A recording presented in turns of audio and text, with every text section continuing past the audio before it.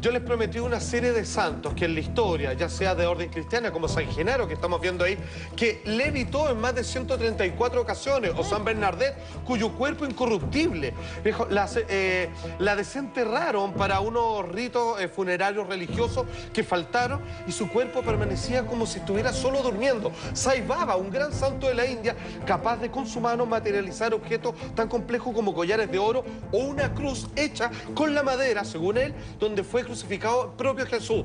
Pero eso no es nada. Hay un programa que se llama El Espiritualista, que es un hombre que va a la casa de todos los hombres que dicen hacer milagros y él lo desenmascara o los corrobora. Un caso que es el más impactante, que lo corroboró un monje budista en Nepal que tiene, dice que él no sabe, simplemente sucede cuando medita, puede levitar. Más de 20 centímetros se levanta, por favor veamos ese video.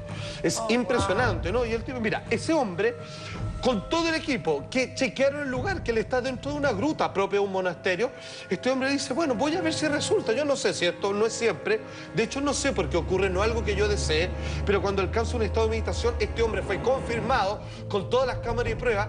Ese es el, el hombre que dirige este programa, que ha desenmascarado a toda esta gente que, que hacen falsos milagros, pero él dice, no tuvimos cómo entender esto. El hombre levita, una cantidad de centímetros impresionante.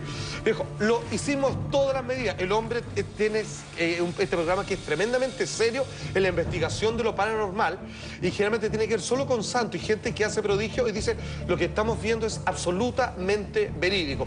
Para no creerlo, se tomaron todas las medidas, hicieron escáner barrido con láser para ver si hay algo que lo sostenía, algo que eh, lo, la- lo jalaba desde arriba. Entonces, Nada. Este hombre claramente y sin que él pueda entenderlo, dice que aliviana toda su capacidad atómica en el cuerpo, entrando en un estado perfecto de meditación y logra despegarse del cuerpo. Confirmado por el espiritualista, este programa dedicado a esto. Oye, es realmente una maravilla. Es, Es eso un- impresionante. un milagro. Eso Oye, es no te pasó. Se puede ver de nuevo, ¿no? Absolutamente, por favor. Pero escúchame, ah, hay que entender de que los videos que les traje hoy día como prueba, que a lo largo de la historia, santos cristianos que pueden licuar la sangre que se conserva de ellos una vez al año de forma misteriosa, que va contra toda lógica, otros cuerpos incorruptibles, personas que leviten y que pueden elevarse ante la vista de todos, personas que pueden materializar objetos de la nada. Ahí yo tengo una historia personal que contar con un primo que viajó a la India a verlo y claramente le hizo un regalo maravilloso ante el ojo de todos. Exactamente.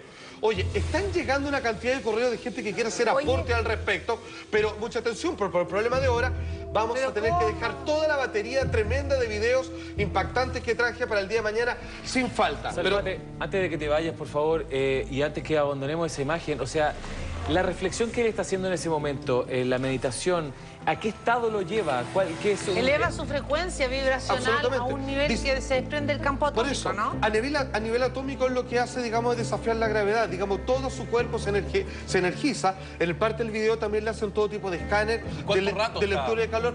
Algo así como tres minutos. Se ¿Tres mantiene minutos? y él luego Amazing. baja y él dice, ¿por ¿cómo lo hace? Yo no lo hago, solo sucede nomás. Y a veces sí y a veces no.